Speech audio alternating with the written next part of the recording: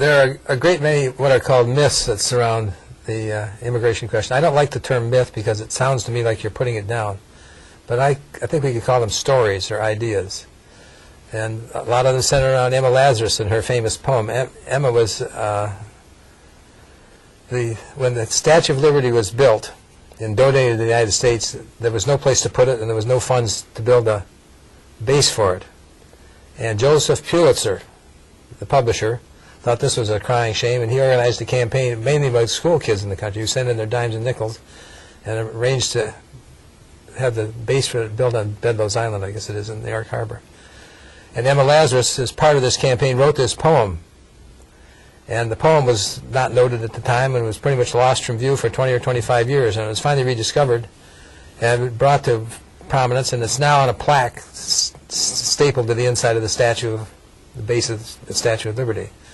I argue that it's probably the most single potent piece of prose that was ever written in the United States, even more so than the Constitution or the Declaration of Independence, considering uh, the effect that it's had on the country in terms of numbers of people that have been admitted in its wake.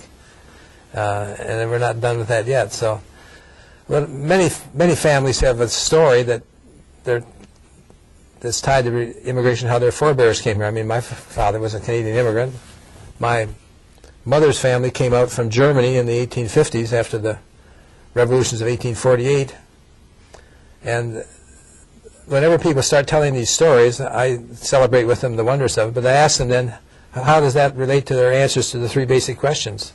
Because your great-great-grandfather came from Germany, does that mean there should be no limits on who should come now? Well, nobody says that. Does that mean we should pay no attention to who comes? Should we admit Nazi, former Nazis to the citizens of the United States? No, we don't want to do that. It doesn't tell you anything about how to enforce the rules. So these are wonderful stories, but they're sort of a side thing to the basic question, is, which is deciding on the immigration policy that will, is sustainable at the present time.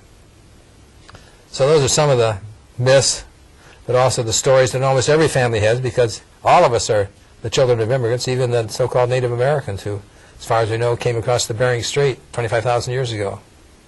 So we all have this, almost everybody has got roots that were somewhere else.